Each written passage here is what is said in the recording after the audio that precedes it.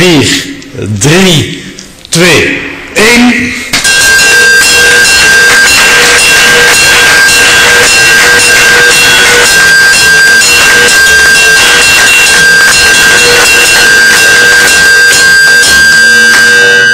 helemaal open, maar uh, dat komt, dat komt, dat komt. Voilà, ze komen er.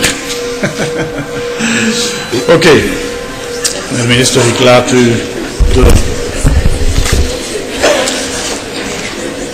Goedemorgen allemaal.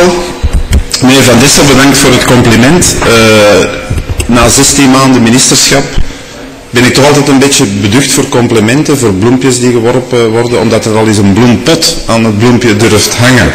Maar in het geval van Vincent ben ik daar altijd zeer gerust in.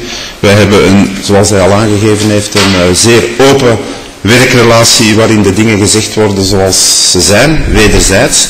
Dat kan al eens een dissonant geven. Speculatiebelasting was zoiets waar Vincent mij niet in dank, of niet in dank door Vincent werd afgenomen. Maar we praten erover, we discussiëren, er zijn ook heel veel punten waar we elkaar vinden, dus dat uh, werkt wel. Het doet mij in ieder geval een groot plezier om hier vandaag de dag te kunnen beginnen met complimenten.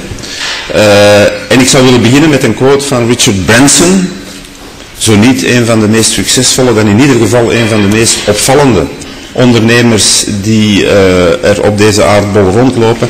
En een van zijn stellingen is, if you take care of your employees, they will take care of your business. Ik denk dat dat een waarheid als een koe is.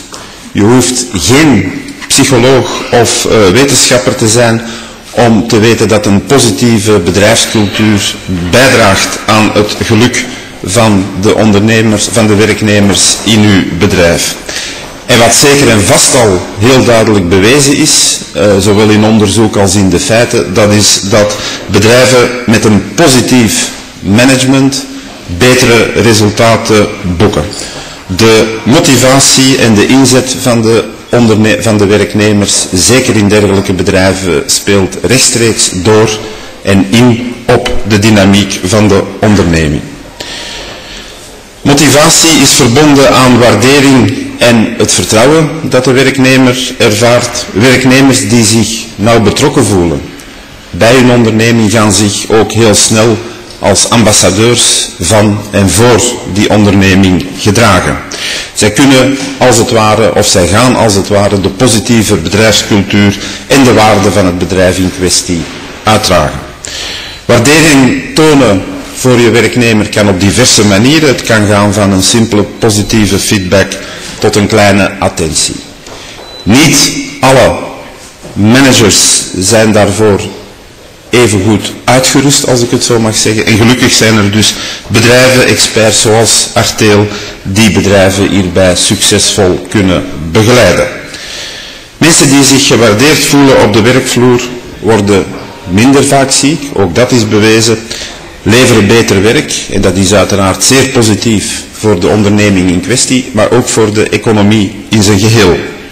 Dus laten we vandaag op deze Nationale Complimentendag de vele werknemers, teamspelers, ambassadeurs de spreekwoordelijke pluim geven.